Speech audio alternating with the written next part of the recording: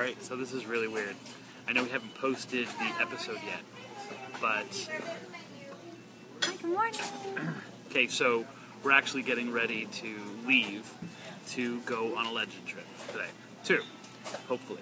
Yeah, hopefully. And the whole theme of it, if you were, uh, if we actually had posted the episode we just finished recording last night, is all about the devil. And um, one of the things we talk about, like the first thing we talk about uh, in the episode is uh, the backwards messages in, in Stairway to Heaven because there's something that really freaked me out and, and everything like that. I know I look like absolute horrible. Don't worry, I'm gonna fix myself up before right. The so, doesn't care. but well, we'll see. So we come to the restaurant, right? Our and have place. breakfast. Our go-to place. Have breakfast before we go home and kind of set everything up and pack up. And we sit down. Can you hear that? Yeah, Stairway to Heaven comes on. So we're sitting here getting ready um, to go on a trip today. We're gonna visit the Devil's Chair. We're gonna visit the Devil's Tree. Uh, so we did this whole theme about devil and different places. And we come down here, Stairway to Heaven. My sweet Satan. I wish that you still had the goosebumps. He had goosebumps. Incredible. Because she's just ordering because you know she's really young, so she doesn't really know a lot of Zeppelin.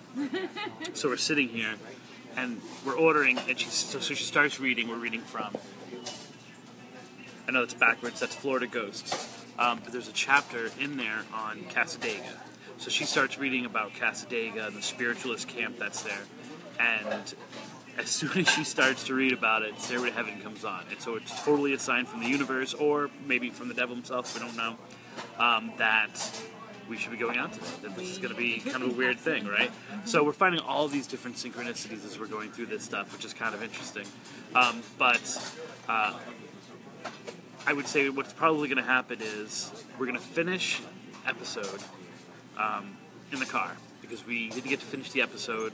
We got to talk more about Cassadaga. There's some more information I found out about the Devil's uh, Tree in Port St. Lucie.